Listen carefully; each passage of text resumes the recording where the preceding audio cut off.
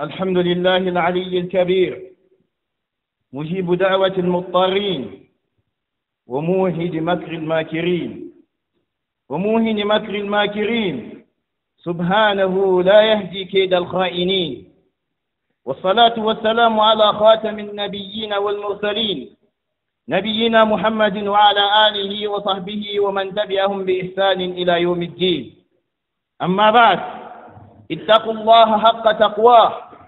وراقبوه مراقبة من يعلم أنه يسمعه ويراه. قال الله تعالى يا أيها الذين آمنوا اتقوا الله حق تقاته ولا تموتن إلا وأنتم مسلمون. وقال الله تعالى إن الله لا يخفى عليه شيء في الأرض ولا في السماء. أيها المؤمنون عباد الله قد ظهرت في هذه السنوات الأخيرة دعوة فلسفية النزعة سياسية النشأة إلهادية الغاية. وذلك تحت شعارات وذلك تحت شعارات براقة ليتقبلها الجهال من المسلمين. وكذلك الغافلون منهم. ألا وهي دعوة التعايش والسماحة ونبذ الكراهية بمدلولها الجديد الذي يحمل في طياتها معان ودلالات ولوازم تمس جواهر عقيدة الإسلام وشريعته ونظامه والواجب على المسلمين والواجب على المسلمين للنجاة من هذه الفتنة ومن غيرها من الفتن التمسك بما دل عليه الكتاب والسنة والكفر بما يخالف تعاليم الكتاب والسنة. قال الله تعالى ومن يعتصم بالله فقد هدي إلى صراط مستقيم.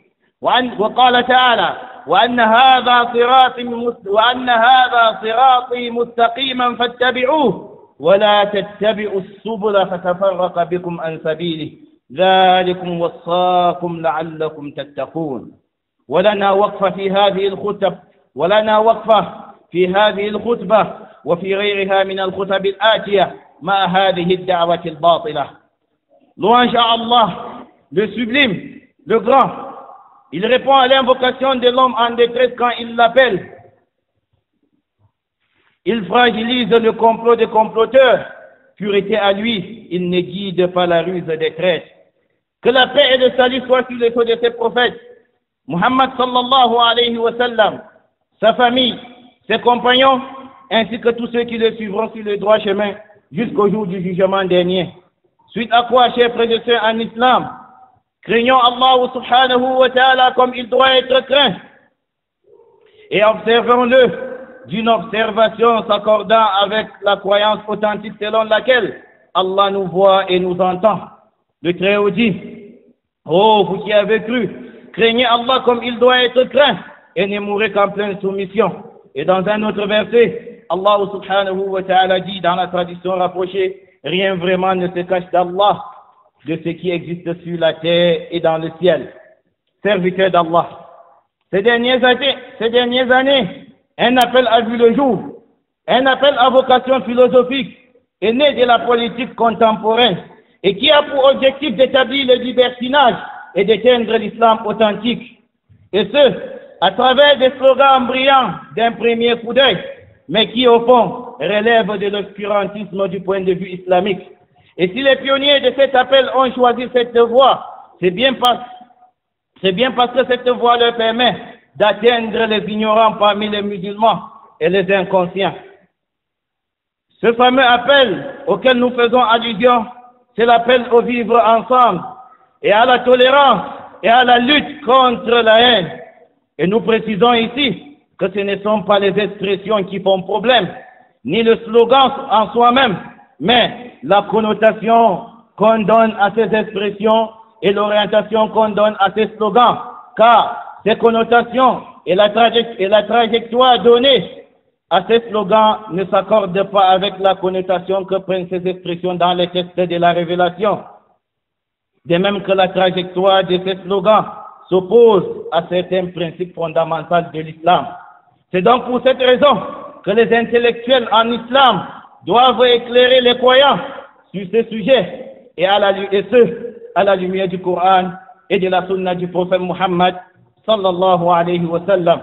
قال الله تعالى وكيف تكفرون وأنتم تتلى عليكم آيات الله وفيكم رسول الله ومن يعتصم بالله فقد هدي إلى صراط مستقيم وقال تعالى وأن هذا صراط مستقيما فاتبعوه ولا تتبعوا السبل فتفرق بكم عن سبيله ذلكم وصاكم به لعلكم تتقون Dans la tradition rapprochée de ces versets, Allah subhanahu wa ta'ala dit Et voilà mon chemin dans toute sa rectitude.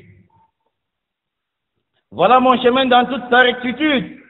Suivez-le donc et ne suivez pas les sentiers qui vous écartent de sa voie. Voilà ce qu'il vous, en, voilà ce qu'il vous enjoint. Peut-être atteindrez-vous la piété. Cela veut dire, chers frères et sœurs en islam, que nous avons l'obligation de suivre les enseignements du Coran et de la Sunna du prophète Muhammad sallallahu alayhi wa sallam. Et que ça n'a pas de sens que l'on se retrouve en train de concevoir des conceptions qui sont en contradiction avec les textes de la révélation, alors que les versets d'Allah subhanahu auxquels nous croyons sont récités sur nous. Alors que la sunna du prophète Muhammad sallallahu alayhi wa sallam est à notre portée. C'est pour cette raison qu'Allah subhanahu wa ta'ala dit dans ces versets comme s'il s'étonnait. Et voilà, et voilà mon chemin dans toute sa rectitude. Suivez-le donc et ne suivez pas les sentiers qui vous qui vous écarte de sa foi, voilà ce qu'il vous enjoint, peut-être atteindrez-vous la piété. Et dans un autre verset, il dit,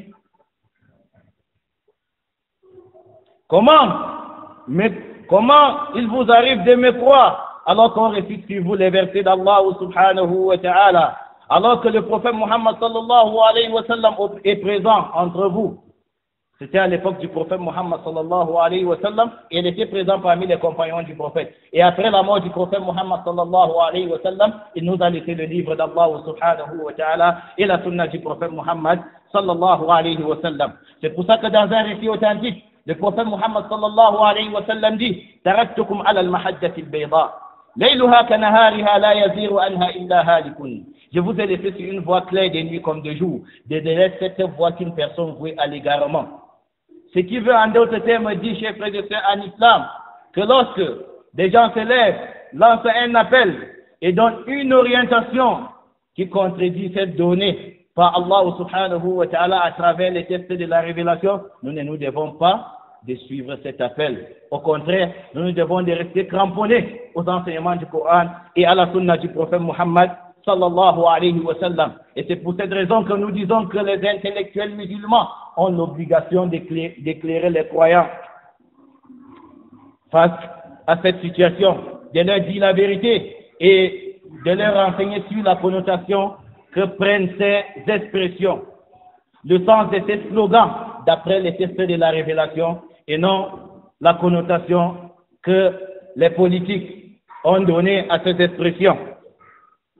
S'il est donc établi, s'il est donc établi que la révélation n'a rien omis et que l'islam a traité la question du vivre ensemble en, en établissant certaines bases, de même que les règles qui le régissent, il incombe à tout musulman de s'attacher fermement aux enseignements islamiques en se détournant de toute conception allant à l'encontre des textes divins. C'est donc pour cette raison, chers frères et sœurs en islam, que dans cette khutbah, et dans les sermons à venir, nous allons nous pencher sur la question du vivre ensemble, sur la question de la tolérance, sur la question de l'amour et de la haine en islam, afin que les musulmans soient édifiés. Et comme nous l'avons dit, Allah subhanahu wa ta'ala n'a rien omis dans le Coran. Et nous avons assigné le jour pour les affaires de la vie c'est-à-dire pour la vie mutuelle entre les habitants de la terre.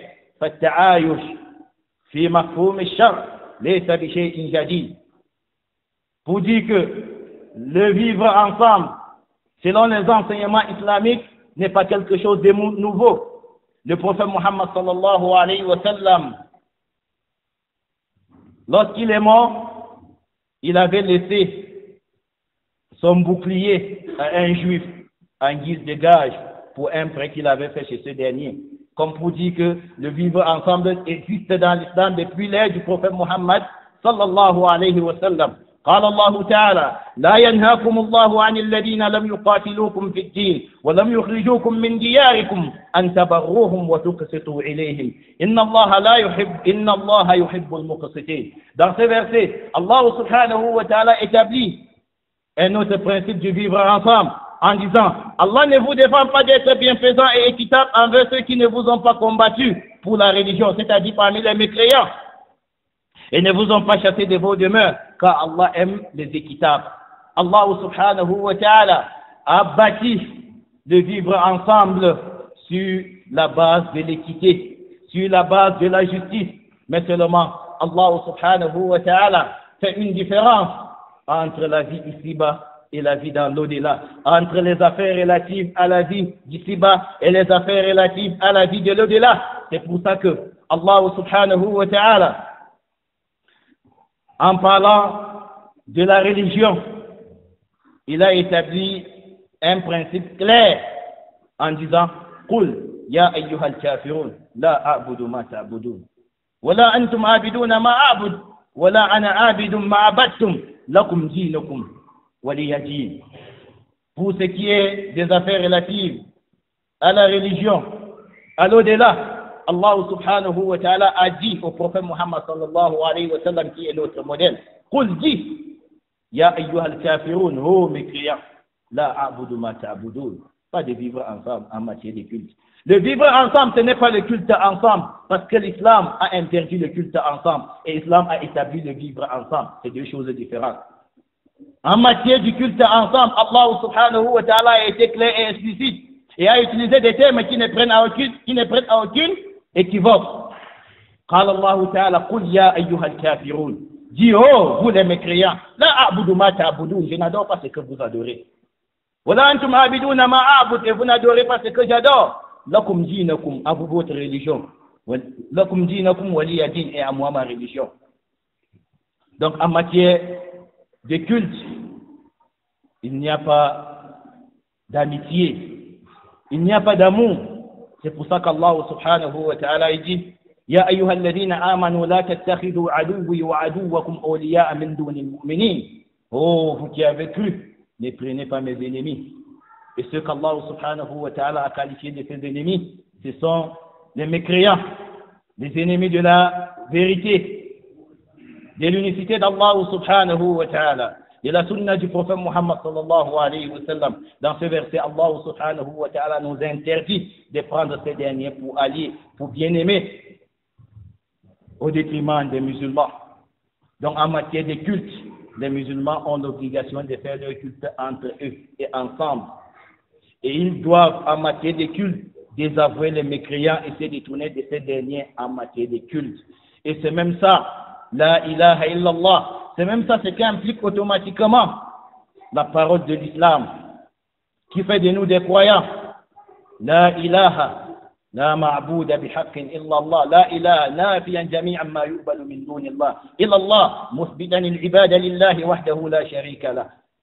Attester qu'il n'y a point de divinité digne d'adoration après Allah, c'est régner toute divinité adorée en dehors d'Allah subhanahu wa ta'ala. Et c'est régner toute adoration autre que celle d'Allah subhanahu wa ta'ala d'après les tests de la révélation. Et tant qu'on ne se désavoue pas de tout ce qui est adoré en dehors d'Allah subhanahu wa ta'ala et de tous ceux qui adorent d'autres divinités en dehors d'Allah, on n'est pas musulman.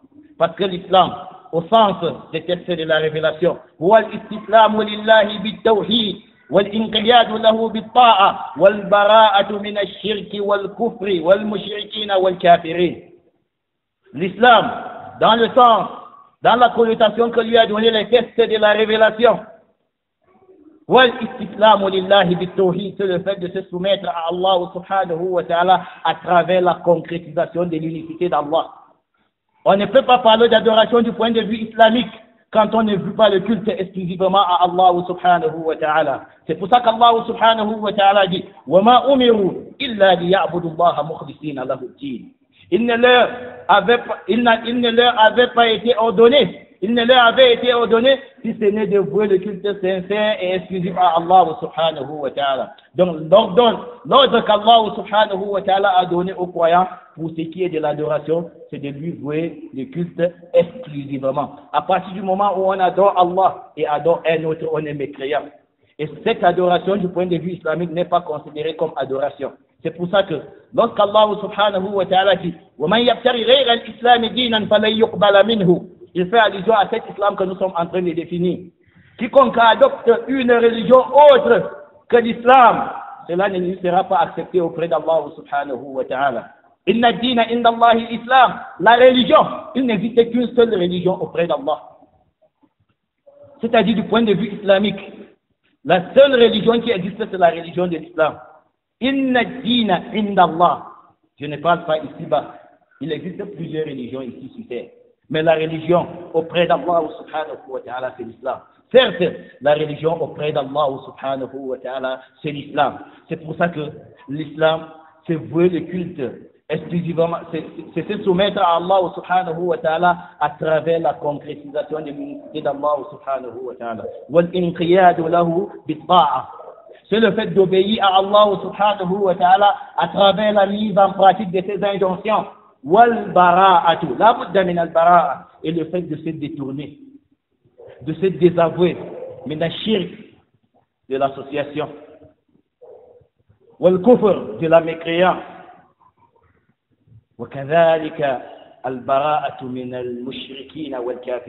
de même que le fait de se désavouer des mécréants, c'est-à-dire dans leur adoration. De même que les idolâtres.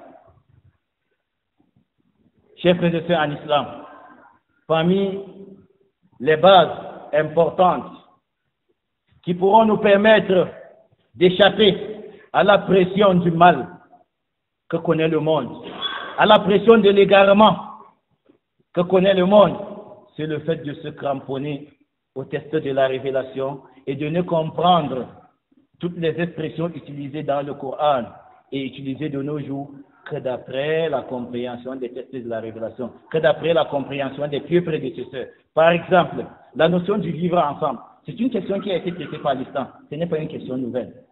Mais la connotation qu'elle prend de nos jours est une connotation qui va en opposition directe avec les textes de la révélation, qui, qui s'oppose à certains fondements de l'islam.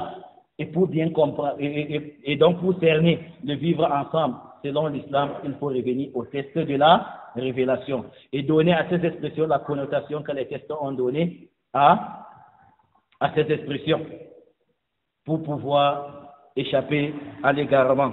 C'est pour ça qu'Allah subhanahu wa ta'ala dit Quiconque se cramponne à Allah, c'est-à-dire au test de la révélation, il, aura certes été guidé sur le droit chemin. Ça veut dire que chaque fois que nous nous retrouvons dans une situation où nous avons des expressions qui prennent qui prennent une diversité de connotations, la connotation que nous nous devons d'adopter automatiquement, c'est celle de, de l'islam. C'est celle qu'a donné le texte de la révélation à ces expressions, tout en nous détournant de la connotation donnée par tous ceux qui, tout, donnée par tous ceux qui n'ont pas respecté la voie tracée par le prophète Muhammad sallallahu alayhi wa sallam. C'est pour ça que dans le hadith authentique, le prophète Muhammad sallallahu alayhi wa sallam dit Je vous ai laissé sur une voie claire de nuit comme de jour. Ne laisse cette voie qu'une personne vouée à l'égarement. Allah n'a rien omis dans le Coran. Et personne ne maîtrise le monde mieux que le Créateur des mondes. Ça veut dire que la seule vie qui peut nous permettre de connaître le bonheur ici-bas et dans l'au-delà, c'est une vie bâtie sur le Coran et la sunna du prophète Muhammad sallallahu alayhi wa sallam et qu'à chaque fois que nous sortirons de la canalisation établie par le Coran et la sunna du prophète Muhammad sallallahu alayhi wa sallam, nous serons dans l'égarement. Comme pour dire tout vivre ensemble qui implique le communisme, qui implique la tolérance de la mécréance, l'agrément de la mécréance, la validation de l'innovation et également est contraire au test de la révélation et du point de vue islamique ne s'appelle pas vivre ensemble.